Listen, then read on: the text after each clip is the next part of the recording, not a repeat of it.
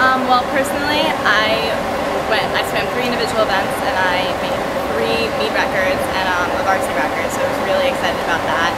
And as a whole, the team did incredible. Um, you know, Kinsey also set a meet record and some of my other really close friends on the team, so it was really an exciting meet and a fun meet and a very successful meet on our part. I think it was really exciting and it was really encouraging and it gave us a lot of confidence going into A10s and it um, gave a, a lot of uh, swimmers a chance to show that they have that they have success in them, that they can really swim well. Bryant's a really great team, um, and this meet should be really fun. It's a lot of different events, a lot of relays. Um, everyone's kind of stressed right now with school and finals coming up, so this should be a really fun meet and really get us ready for the rest of